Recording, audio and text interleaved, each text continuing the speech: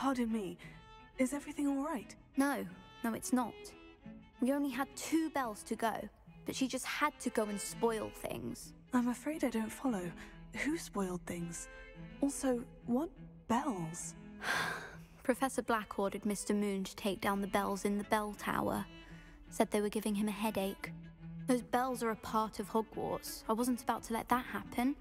So I asked my friend Adelaide to help me put them back. We've always been a duo of sorts, Adelaide and Evangeline. Addie and Evie. Anyway, it was going swimmingly until Black started asking questions. Then she wasn't comfortable with our rule breaking. Now I'm stuck, unable to tell which bell goes where. Perhaps I could help put the bells back up. Really? Oh, that would be wonderful. The bells are in the bell tower just above the music room. You're certainly of more help than Adelaide. Imagine the bells are just inside the bell tower.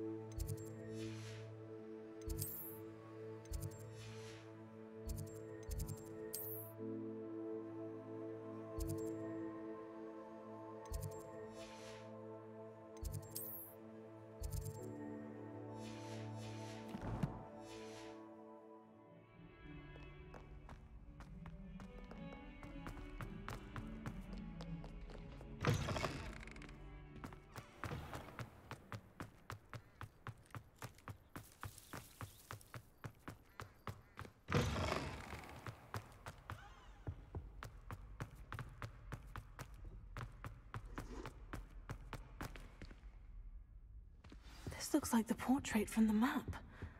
Now, where's the treasure?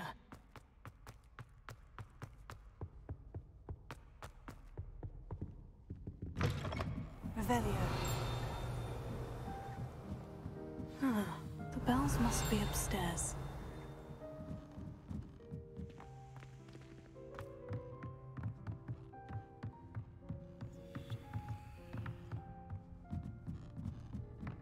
Ah,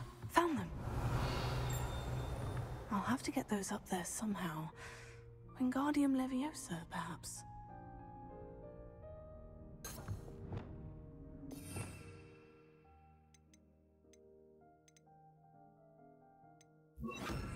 Wingardium Leviosa. Revelio.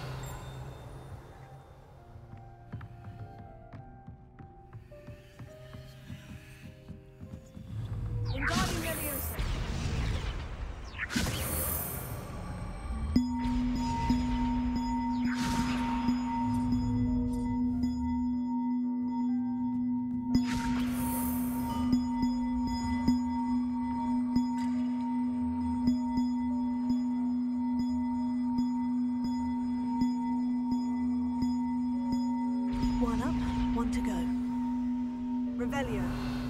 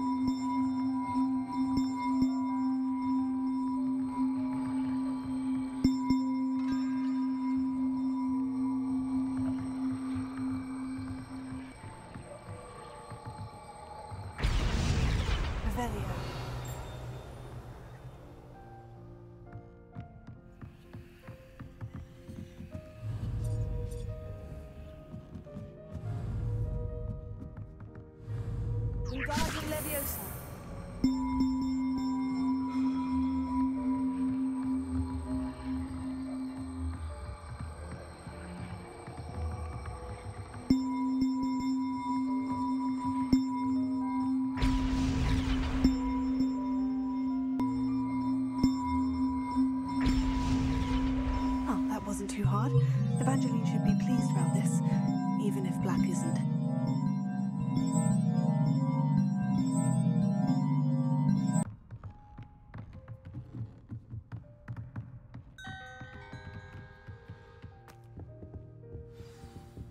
Alohomora.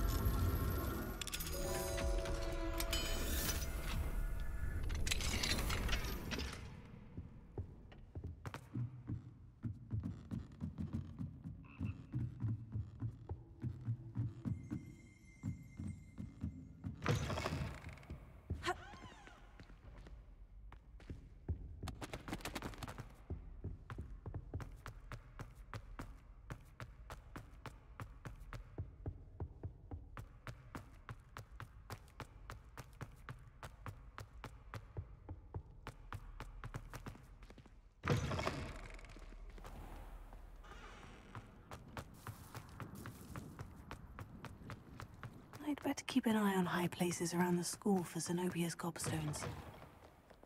fills our stone hearts with joy to be in the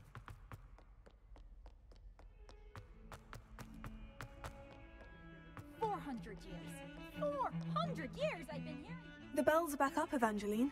Ah, you're a credit to the school. I can't wait to hear them. I can't wait for the headmaster to hear them. I wish I could see his face. Future generations may not truly appreciate what you've done, but I do. And I hope that you do as well. You don't know how much this means for me and for Hogwarts.